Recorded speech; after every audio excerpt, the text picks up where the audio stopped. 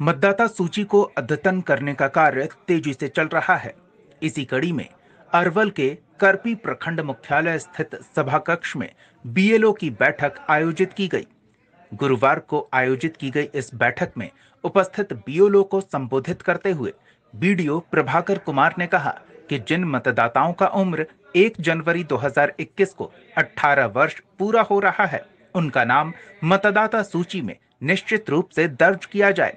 साथ ही जिन मतदाताओं की मृत्यु हो गई है, उनका नाम मतदाता सूची से हटाने का निर्देश दिया गया। मतदाता सूची को अद्यतन करने का निर्देश भी बीडीओ ने दिया है। इस दौरान बैठक में कई बीएलओ मौजूद थे।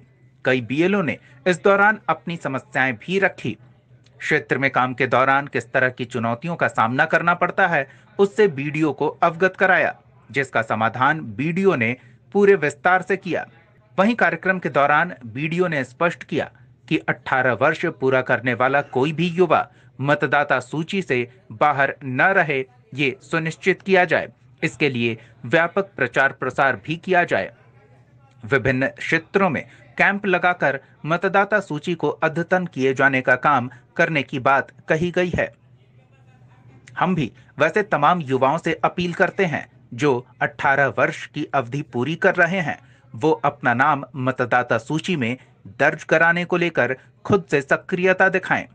कैंप में पहुँचे और कैंप अगर नहीं पहुँच पाते हैं तो सीधे कार्यालय पहुँचे, जहाँ मतदाता सूची में आपका नाम दर्ज किया जाएगा, ताकि आप भी अपने लोकतांत्रिक अधिकार का सही तरीके से निर्वहन कर सकें, अपने कर्तव्यों का निर्वहन कर सकें और जनप्रतिनिधि के चुनाव में अपनी भूमिका अदा कर सकें।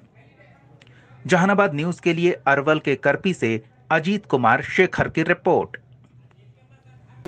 नाम जोड़ने के लिए प्रपत्र छह है ना?